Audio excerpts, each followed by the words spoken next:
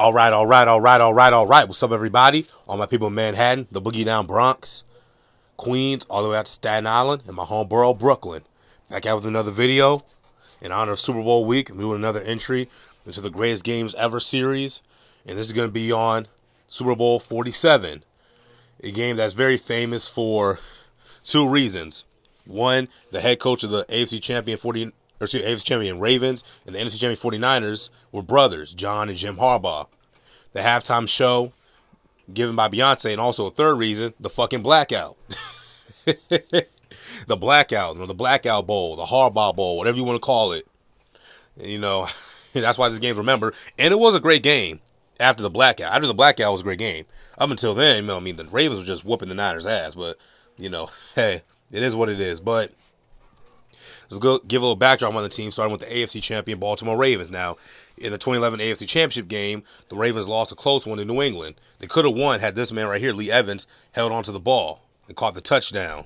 It would have made it a 27 to 23 victory for the Ravens. Because he dropped it, the Ravens settled for a field goal, and the kicker Billy Cundiff missed wide left. And the Ravens lost 20, 23 to 20 to the Patriots, and the Patriots subsequently lost to my New York Giants. You're welcome, Ravens fans. But uh, so going into 2012, the Ravens were a team on a mission, you know, led by their young quarterback Joe Flacco, star running back Ray Rice, and Pro Bowl fullback Vonta Leach, their big tight end Dennis Pitta, and their super receiving duo Anquan Boldin, number 81, and 82 Torrey Smith. Future Hall of Famer right guard Marshall Yanda, and on the defensive side Ray Lewis, who who announced right before the playoffs that this was going to be his last ride. It was the final season in the legendary career of Mr. Ray Lewis. And of course, they also had Terrell Suggs, who won the Defensive Player of the Year in the year 2011. And future Hall of Famer Ed Reed. This is Ed Reed and Suggs' last chance to win the Super Bowl with their big brother, Ray Lewis, their proverbial big brother, Ray Lewis. Of course, they also had Haloti Ngata and safety Bernard Pollard. Okay, and of course, let me not forget return specialist Jacoby Jones. So they picked up a free agency from the Houston Texans.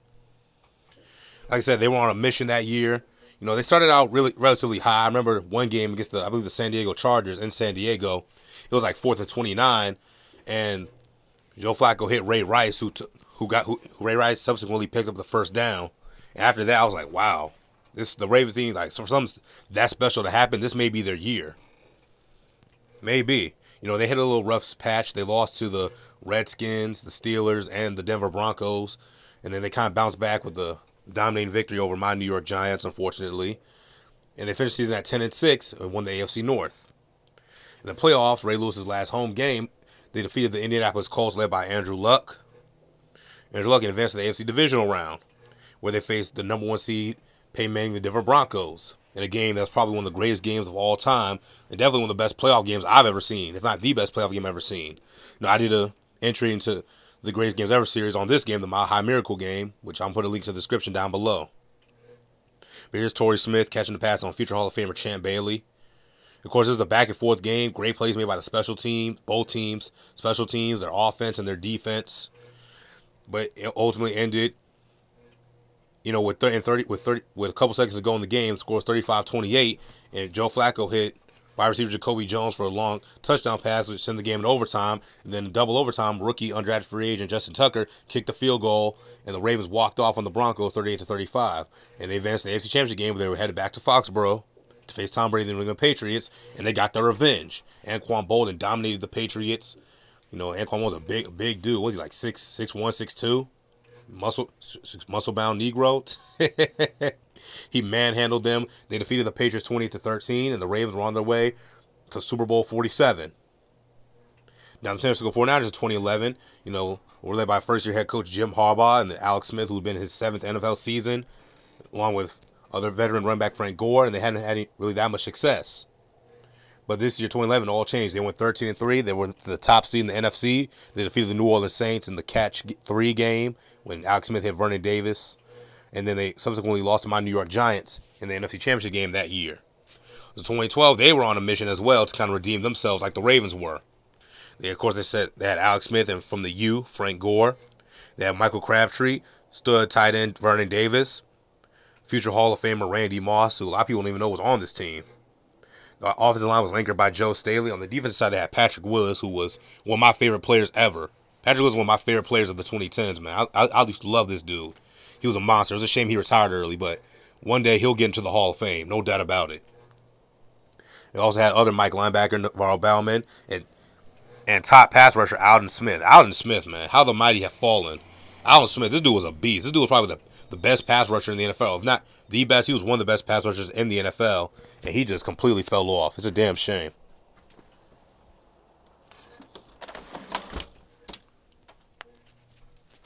And of course, I'm not forget they had cornerback Carlos Rogers. You know, midway through the season, Alex Smith got dinged, and Colin and thus the world was introduced to Colin Kaepernick. Kaepernick got the job back, and when Alex Smith was healthy, you know, Alex Smith never returned. It was the beginning of the Kaepernick era in San Francisco. They finished the season at 11 wins, four losses, and one tie. In the playoffs, Kaepernick just dominated the Green Bay Packers, a team he ironically grew up idolizing and wanted to play for.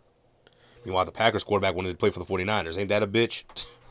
they, they went to the NFC Championship game to face the Atlanta Falcons, who were the top seed in the NFC. They defeated them, and the 49ers were on their way to the Super Bowl for the first time since 1994. And thus, this game was dubbed as the Har Bowl, the Harbaugh Bowl, however you want to look at it. The game started, and Right away, Big Brother was dominating, beating up Little Brother. Flacco hit Anquan Boldin for a touchdown pass for making seven to nothing. I mean, Anquan Boldin, man, I'll, I'll never understand why the Baltimore Ravens released him after this season because he was perhaps the best receiver they ever had. But you know, it is what it is. And then Flacco hit other big tight end Dennis Pitta for a touchdown. Man, now just like that was up fourteen nothing.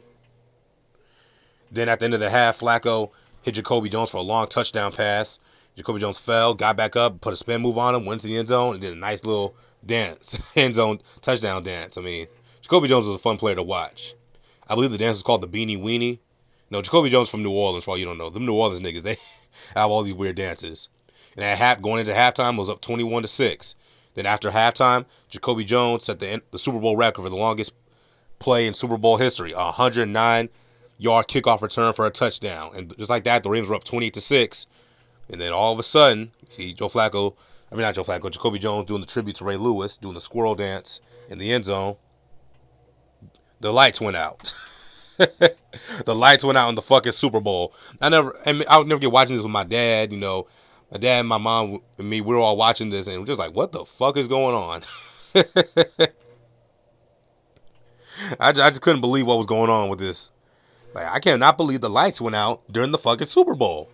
But when the lights, but those lights went out and the 49ers lights went on, they stormed back into the game.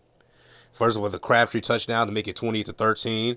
Then a Frank Gore touchdown run to make it 28 to 20. Then a Kaepernick touchdown run. Then a Kaepernick touchdown run, and just like that, the 49ers were back in the game. The Ravens settled for two field goals to get a 34 point lead. To get a 34 to, I believe what, 34 to 29 lead. Something like that. And then on the last drive of the game, Colin Kaepernick tried Michael Crabtree in the end zone, and you know some say it was he was pass interference. It was a controversial call, but then no flag, no flags were thrown, and just like that, it was a turnover on downs. The Baltimore had the ball. Baltimore ended up taking the safety. They punted the ball, and that was game. The Baltimore Ravens were Super Bowl champions for the second time in franchise history by defeating the 49ers 34-31. Thus concluding one of the be- probably one of the best Super Bowls of all time. It's definitely top 20 in my opinion top 20. If you want to push it top 10, that's your business, but I'd say more 20, the 11 to 20 range. But uh, is what it is. Ray Lewis went out a champion. John Harbaugh got a got a Super Bowl. Ed Reed finally got his ring. Terrell Suggs finally got their ring with their big brother Ray Lewis, who went out a champ. And Joe Flacco silenced all the haters. Joe Flacco's 2012 playoff run was probably one of the best playoff runs by a quarterback ever. This man, Joe Flacco, threw 11 touchdowns and zero interceptions in just that one playoff run. Just that one playoff run. Like, look, and I'm not trying to compare Flacco to Joe Montana, but Joe Montana in four Super Bowls, which he played in 81, 84, 88, and 89, threw 11 touchdowns and zero picks. It took Joe Montana four combined Super Bowls to do what Joe Flacco did in a single playoff run. Again, I'm not saying Flacco's better than Montana. I'm not saying that that's just sacrilege. That's just blasphemy, as Stephen A. Smith would say. But I'm just saying, just shows you how great Flacco was that year. He got up, he got the big contract, and he was never the same after that. but hey, what do you guys think? What do you Ravens fans think? Ravens flock, whatever you guys call yourself, Ravens Nation. Was it was it a top top Super Bowl of all time? Was it the greatest ever? Is it top five, top ten? Do you agree with me? That's in the eleven to twenty range. Let me know in the comment section down below. A great game, great game, and a great way for the great Ray Lewis to go out. All right. See you all.